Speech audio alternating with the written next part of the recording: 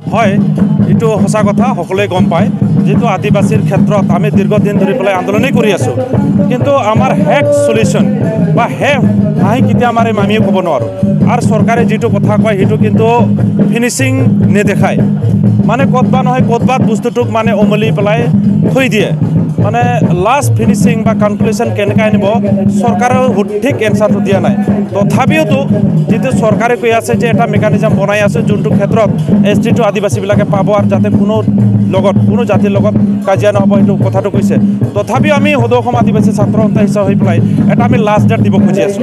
যিহেতু আমাৰ মহাসভা আছে আমাৰ জানুৱাৰী সাতাইছ আঠাইছ ঊনত্ৰিছ তাতে আমাৰ শেষ সিদ্ধান্ত হ'ব যে চৰকাৰৰ লগত আমাৰ লাষ্ট আমি টাৰ্গেট কেতিয়া দিম আৰু সেই টাৰ্গেট হিচাপত দি পেলাই যদি চৰকাৰে হিচাপত যদি আমাৰ এছ টি কৰণটো ডিক্লাৰেশ্যন নিদিয়ে তেতিয়াহ'লে আমি চৰকাৰৰ এগেইনষ্টত আমি যাবৰ কাৰণে আমি বাধ্য হৈ যাম।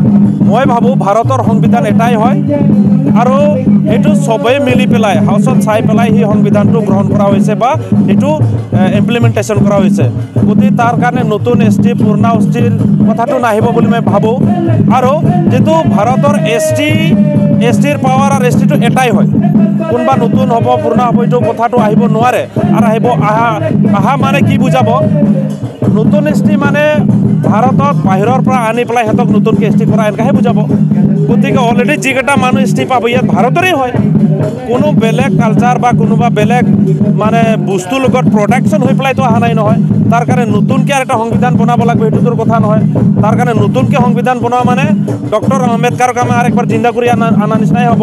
গতিকে ইয়াত আমি ভাবোঁ আৰু আমি আপিল কৰিব খোজোঁ যাতে এছ টিৰ যিটো ৰাইটছ আছে ট্ৰাইবেলৰ যিটো আমাৰ পাৱাৰ আছে সেইটো একেবাৰে সমান হ'ব লাগে আৰু একৰ্ডিং টু সংবিধানৰ মতে যিটো পাৱাৰ পাব লাগে এইটো ইকুৱেল হ'ব লাগে। এইটো তেতিয়াহে ভাৰতৰ সংবিধানক সন্মান কৰা হ'ব।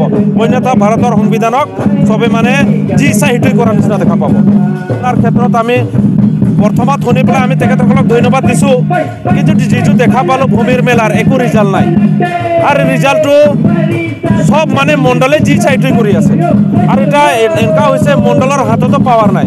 আনকি যিবিলাক নন ট্ৰাইবেল ইয়াত আদিবাসীৰ কথাও নাহে। যিবিলাক নন ট্ৰাইবেলত ক'ব গ'লে চবেই আহি যাম আমি। মানে অসমীয়া কোচ ৰাজবংশী বাঙালী যিবিলাক আছোঁ। আমাৰ কথা তাত একো নচলে। মাটিৰ ক্ষেত্ৰত মানে যিটো আগৰ নিয়ম আছে সেইমতে চলি আছে। আমি ভাবিছোঁ মাটিৰ মেলা মানে সেই মেলা দিনাই আহি পেলাই ডাইৰেক্ট ম্যাদী পাট্টাটো দিব এইটোৱে ভাবিছিলোঁ।